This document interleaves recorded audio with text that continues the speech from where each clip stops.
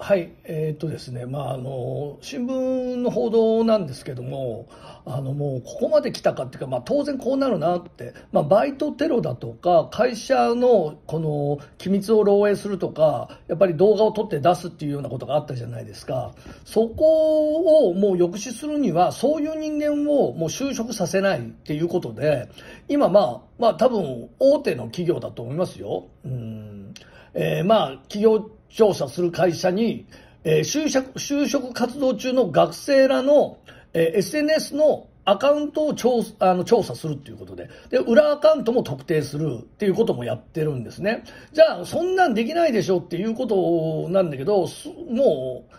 どう特定するかっていうのは、まあ、この、いろいろあるんですけど、まあ、エントリーシートをもとに出身地、出身校、誕生日、えー、匿名のアカウント、実名アカウントの写真、フォローしている友人、投稿内容の癖だとかを絞り込んで、まあ、そこから10個以上のアカウントを特定、えー持ってるっていう人も特定してるわけですよ。だから、まあ、こんなのことを、まあ、できるわけですよね。それがバレないと思ってやってる方が大間違いで、もうそういう人間は、もう成績が良かろうがどうだろうが、もう排除ですわね。結局、就職させないとか、まあ、合格にしないわけですから、だからこうなってきてますよっていうことで、まあ、私どもも常々言ってるように、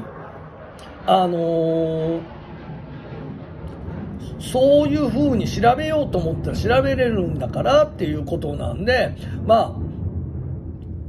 もうこういう時代に来ちゃってるっていうことなんで、もう今から本当に子供たちの教育って、まあここに漏れちゃった今そうですね、10代、20代の人たちっていうのは、もうインターネット万能、好きなことを書き込んで自分じゃない自分を、えー SNS の中では、あのー演出していたんだけども、もうそれは無理ですよと。で、もっと、えー調べていくことになるのは、あのー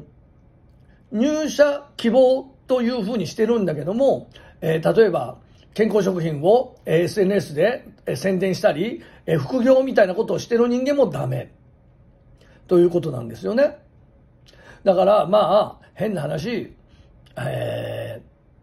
まあ、私は別に TikTok もやってるから、TikTok を目の敵にしてるわけじゃないんだけど、TikTok なんかでいろいろなこと、マーケティングとか言って何かやってて、それは少しずつお金をもらってても、いざそういう履歴が過去にあったりすると、まあ、企業的にはそういう人はクエスチョン、罰っていうことになりかねないということなんですね。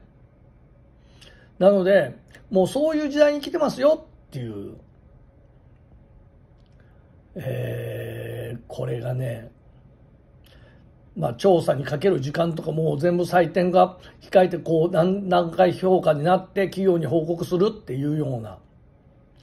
あのことなんですよ。で、そうじゃない、逆にそうじゃない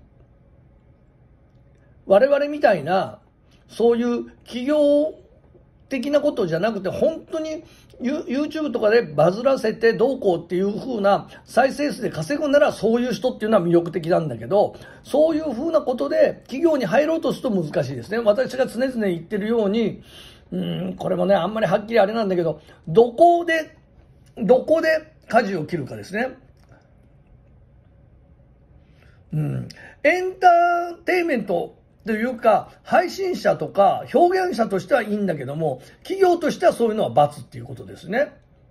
うん。ここが難しいところになってきたっていうことです。はい。